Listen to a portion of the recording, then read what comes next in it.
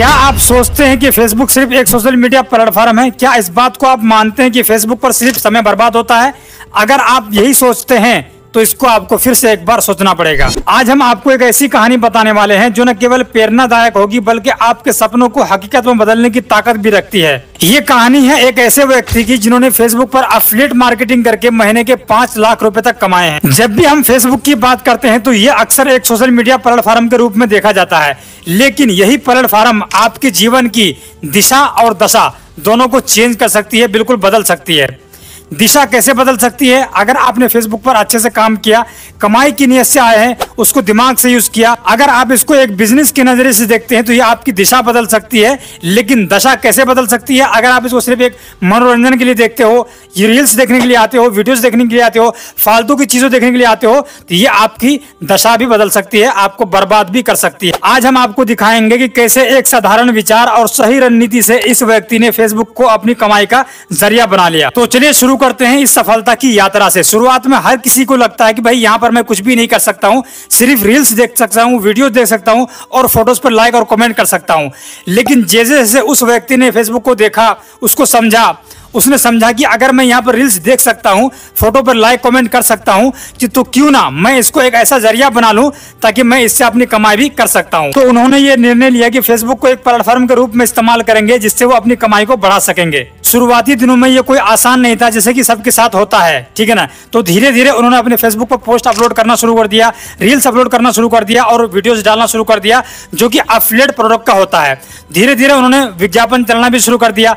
ऐसे कर करके वो टाइम बीत जाने के बाद धीरे धीरे से उनको ग्रोथ मिलने लगी और उनका कामकाज आगे बढ़ने लगा। ठीक है दोस्तों? धीरे धीरे उनकी मेहनत रंग लाई, उनके विज्ञापन और प्रभावशाली पोस्ट रील और वीडियो से वो महीने के पाँच लाख तक की कमाई करने लगे। इस लड़के की कहानी से हमें ये पता चलता है कि अगर हम रेगुलर फुल्ली प्लानिंग के साथ काम करते हैं तो हम किसी भी चीज़ को अचीव कर सकते हैं और किसी भी चीज़ को हासिल कर सकते हैं नियंत्रण प्रयास के साथ। ठीक है दोस्तों? तो चलिए, अब जानते हैं कि आप अपनी फेसबुक मार्केटिंग को कैसे सफल बना सकते हैं। मैं यहाँ पर कुछ महत्वपूर्ण बातें बताऊँगा जो कि आपके लिए बहुत ज़्यादा फ़ायदेमंद होने वाला है। ठीक है दोस्तों? अब इस वीडियो को बिल्कुल ध्यान से देखना। सबसे पहले आपको एक सही निश को डिसाइड करना है, उसके बाद उस निश में आपको फ़ोटोज़ अपलोड करना है वीडियोज़ अपलोड करना है और अपने विज्ञापन को बनाना है ताकि आपका वो पोस्ट आपका वो फ़ोटोज़ आपका वो रील्स सही दर्शकों तक पहुँच पाए। इससे आपके प्रयासों की सफलता की संभावना बढ़ जाती है। ठीक है दोस्तों?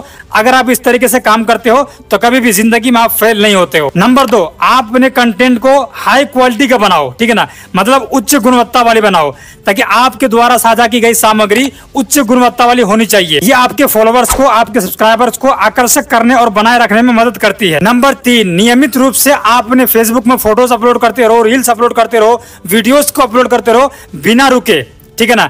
एक दिन में कम से कम आपको पंद्रह फ़ोटो अपलोड करना है एक दिन में कम से कम आपको पाँच रील्स अपलोड करना है जो कि आपके प्रोडक्ट से रिलेटेड होगा ठीक है ना? जो कि आपको ओरिजिनल बनाना है। ठीक है?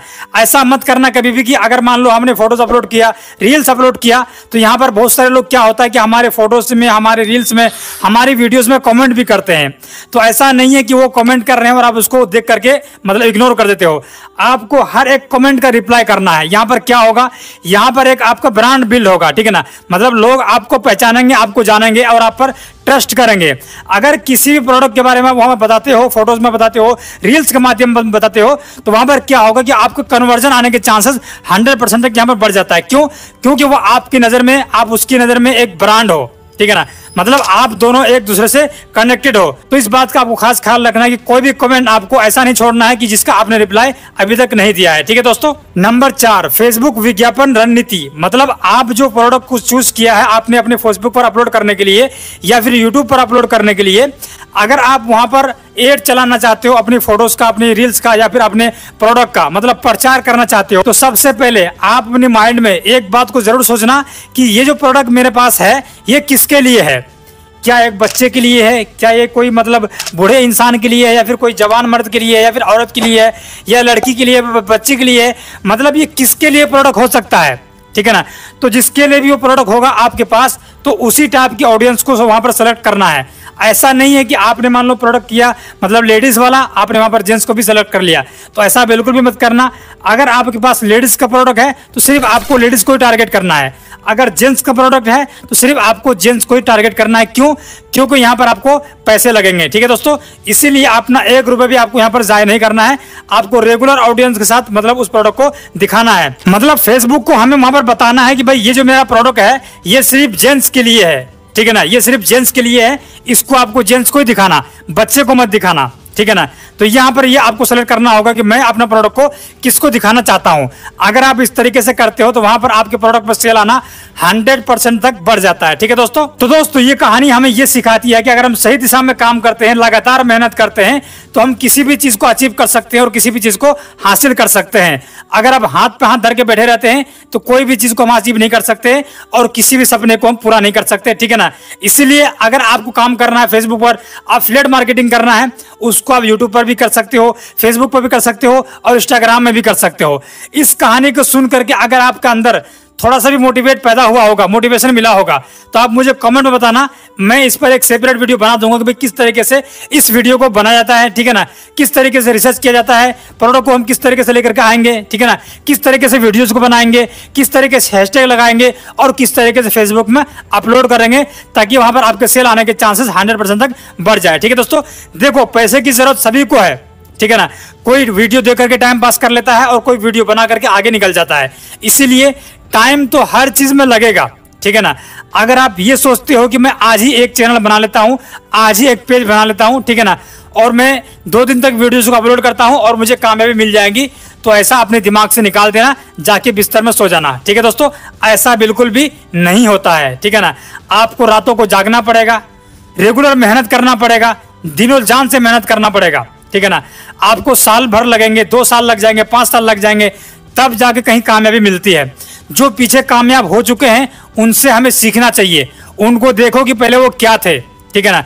जो भी लोग इस फेसबुक की दुनिया में, इस यूट्यूब की दुनिया में, इस डिजिटल मार्केटिंग की दुनिया में आज लाखों रुपए कमा रहे हैं, करोड़ रुपए कमा रहे हैं, लेकिन एक टाइम वो ऐसा था, उनके पास भी ज़ीरो चीज़ था। ज़ीरो रुपया था ज़ीरो फॉलोवर्स था ज़ीरो सब्सक्राइबर था। मतलब उसके पास कुछ भी नहीं था, कई तो ऐसे हैं जिनके पास खाने तक के पैसे नहीं थे, आपके पास तो होगा।